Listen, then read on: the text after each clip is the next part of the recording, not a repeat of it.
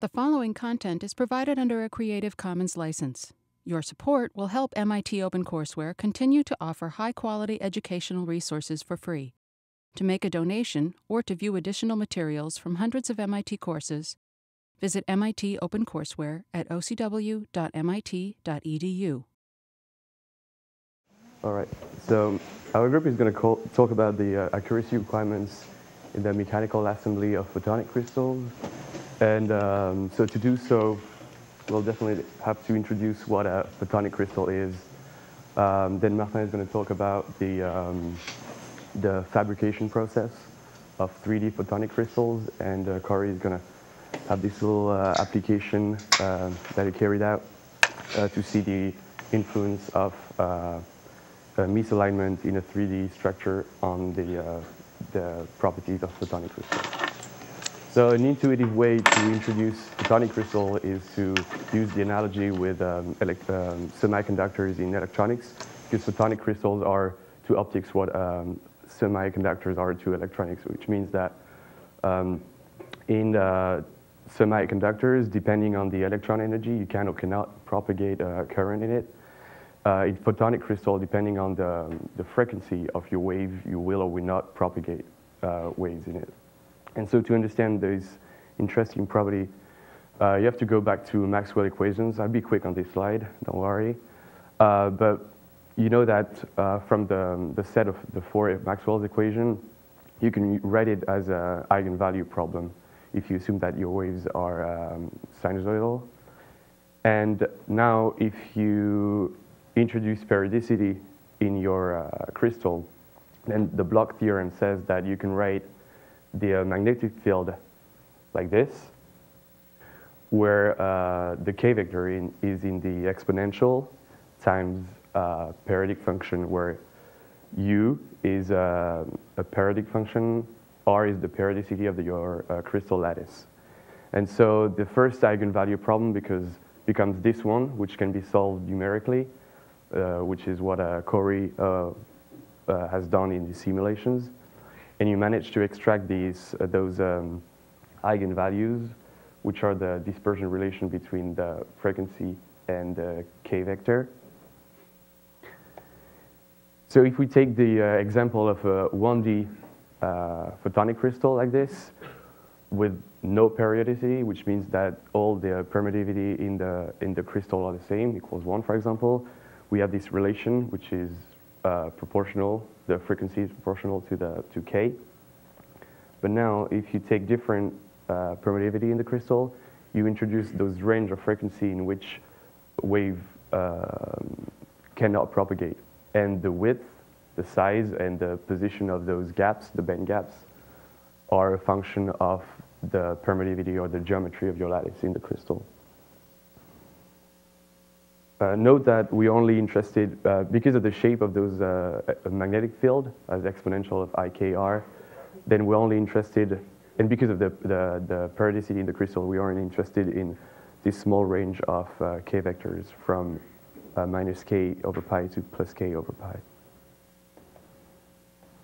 So to illustrate this interesting property, we brought 1D photonic crystal which can only pass blue light, which means that, well, the band, the band gaps are everywhere where you don't propagate blue. So, which you can see if you, if you shine, I don't know, it's gonna be easy. If you shine blue light, if you sh shine, sorry, if you illuminate with a white, white, uh, white light, you will, um, you will uh, transmit only blue. Now, if you shine, if you illuminate with a red light, then it will block almost everything as you can see on the second. I don't know if you can see it, but, but basically there's nothing to see. The only problem with a 1D photonic crystal, if you, if you shine off axis, then it loses its property. And now you should be able to see this red spot over there. And this is the reason why people are trying to uh, now create 2D or 3D photonic uh, crystals to keep this uh, property in all the directions and with all polarization. The applications of photonic, photonic crystals are, well, as you, as you saw, uh, to filter some of the frequencies, but also to use it as a perfect mirror. Um, you can also use it as waveguides or cavities or uh, light shaping. And now Martin is going to talk about the fabrication.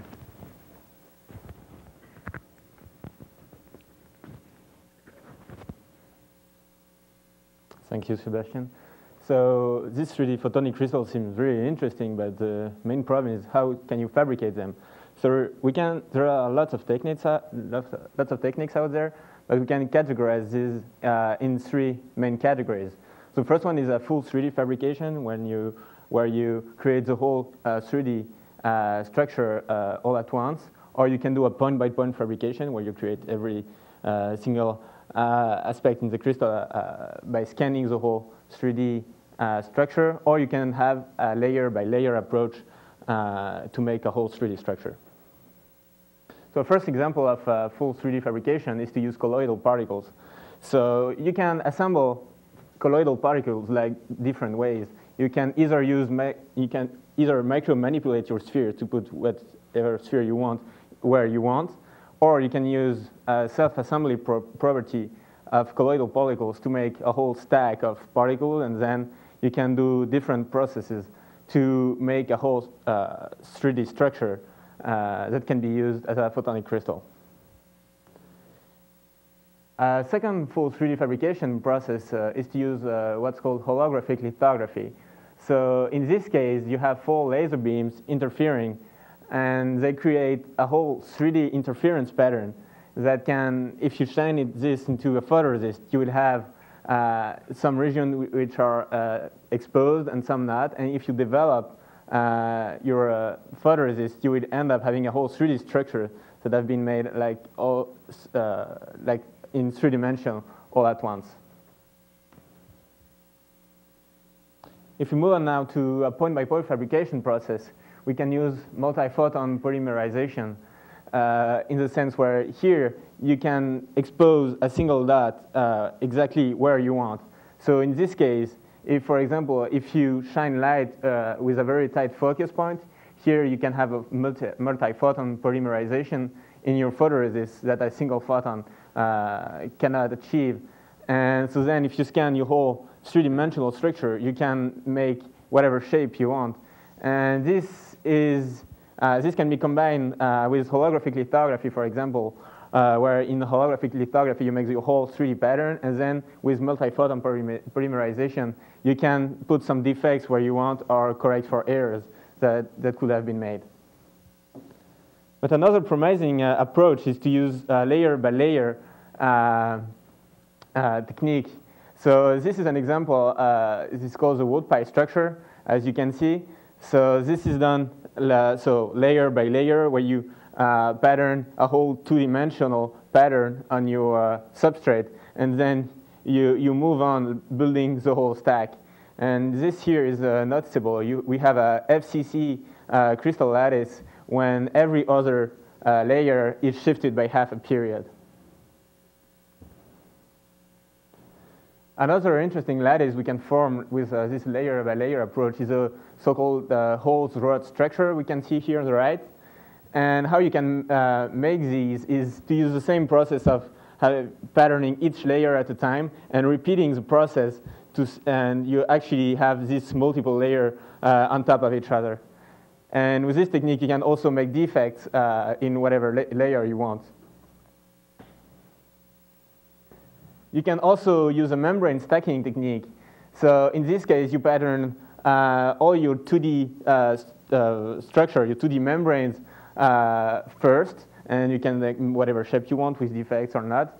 And then you can stack them together uh, using some alignment techniques uh, that here is used uh, uh, by microspheres.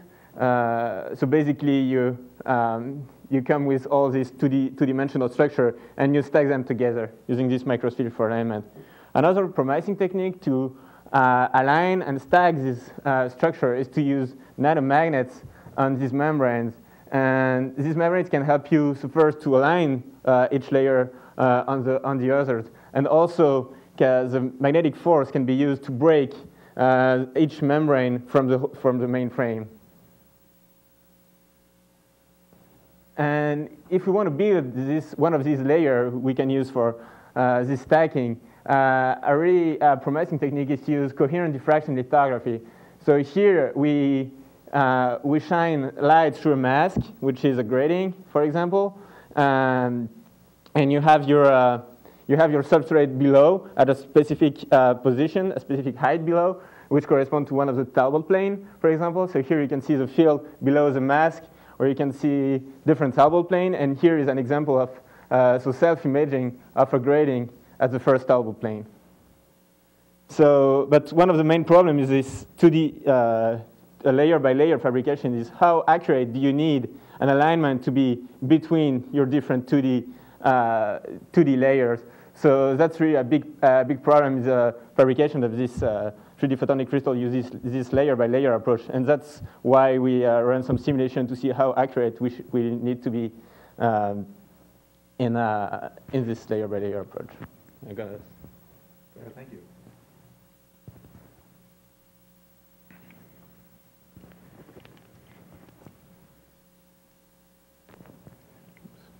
One second. All right, thank you, Martin. So one of the structures that Martin mentioned was the diamond lattice, which is just the same as the face center cubic, but there's two atoms in the middle. So what I mean by that is this atom and this atom. This is actually eight unit cells in this picture. Now, this image and this image were taken from a program, MIT Photonic Bands, which allows you to calculate the band gap in three-dimensional structures. For this particular structure, the band gap is 10.62%, and this band gap is actually the range of frequencies here divided by the mid frequency. So that's what gives us these percentages. Now, one of the things that um, we notice is that it's centered about 0.42, and obviously the gap is defined in this way.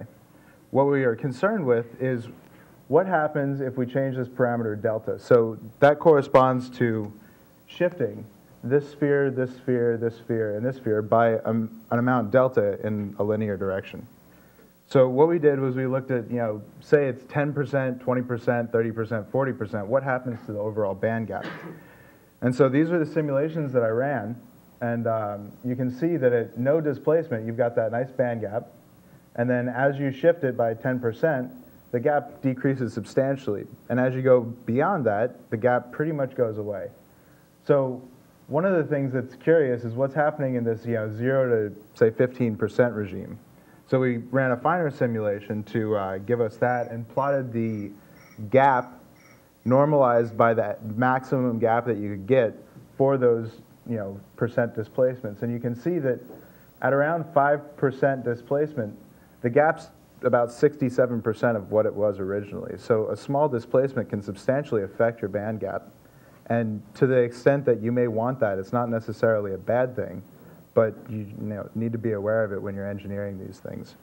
So these are just some numbers that you know, kind of give you a better handle on what that graph means. But you know, I like this one the best. If you want to keep your gap above 10% or 95%, then that's really a displacement of around 1 to 2%, which is pretty small. So a real example of this, you know, in the telecom uh, wavelengths and frequencies is, you know, frequency is 1.9 times 10 to the 14 hertz. And if you look at the displacement in nanometers now, so we've multiplied it by our lattice spacing. In uh, Sebastien's slides, this was the R, but in this case, it's 663 nanometers.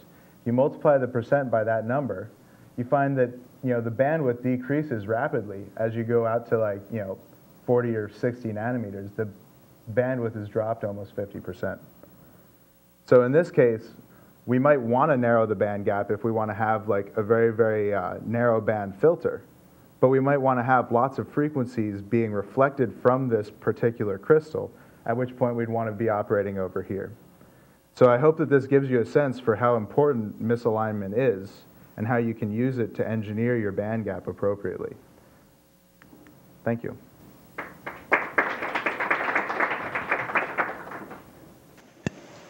Questions? Um, one of the things that was mentioned was that certain fabrication techniques will allow you to put defects in. Why would you want, is it the same principle that you want?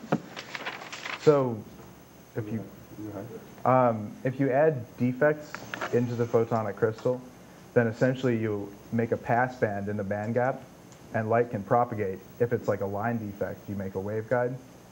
If it's like a point defect, then light will resonate inside that defect.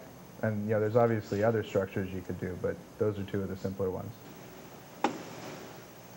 Is this for a given thickness of photonic crystal, or is it like an infinite photonic crystal? This is actually one of my big caveats about the simulation. So this software assumes that it's infinitely periodic. And so what I've done here is actually shifted every other layer, not just a single layer. And that's an artifact of the simulation software. If I wanted to try and model just one layer, it becomes much, much more complicated. But yeah, it is infinite in extent. And one of the things that the holographic lithography is limited by is the actual thickness of the photoresist that they can expose because after a, a little while the light stops interfering in the right way and you don't get that interference pattern that you want anymore. In real life, how could such a defect come about? So This displacement? Know? Yeah, there's there's a couple ways, right? Now, one of the things that um, Martin was showing was this coherent diffraction lithography stuff, and I'm going to talk about it a little bit because I know it very well. So you can imagine, you know, if you had your substrate at an angle here, you know, you pass through a few Talbot planes, and so the actual shape of your grating wouldn't be just periodic. There'd be regions where you'd go to frequency doubling, there'd be regions where you didn't. So that alignment capability is really an important thing. And if you imagine stacking in the membrane stacking sense, these printed patterns on top of each other, you have to be able to align those patterns relative to each other. And if your alignment is off by, say, 25 nanometers, then you get something like 25% decrease in your band gap. So one of the examples of misalignment is actually in the stacking part of the fabrication. And one of the things that, you know, in this particular case, this stacking is all dependent on how good these spheres are. You know, so the misalignment's not, I, don't believe it was reported in this paper, but, you know, it, it could be 20 or 30 nanometers. They don't say. And so that's where the misalignment comes from. But, you know, in Ming Hao's work, in this one, the misalignment comes from the E-beam. Right, so as the E-beam's writing each one of these uh, each one of these hole layers or each one of these rod layers, there's a certain few nanometers off error that you know it misplaces a rod or it misplaces a hole. So I guess the answer to your question is that there's a lot of different ways that misalignment can happen, but it's controlling that misalignment. And if we use diffractive optics, we can control it very well. Yeah. Um, so how does a crystal that's designed for a wider band gap but like has misalignment so you have an effectively shorter one, how does that compare to one that's actually designed for the smaller band gap and is accurately aligned? So I think the answer to the question is if I were designing it, I'd want to go with the one that's designed to have a smaller band gap without misalignment than one that's designed to have a smaller gap with misalignment. Like I wouldn't screw up my pattern to make the band gap get smaller. I'd try and design it to have that band gap. Okay.